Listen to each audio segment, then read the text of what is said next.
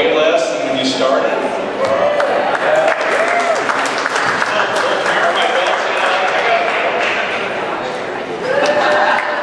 More than 5,000 Kansans took part. The results are remarkable. Participants lost a combined total of 44,409 pounds. My name is Ashley Wilson and uh,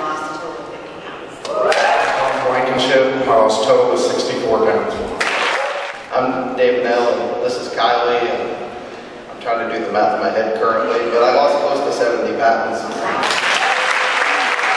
I'm Karen Schmidling, and I lost close to 40 pounds. And Don Kaufman, I lost 27 pounds. 48 pounds.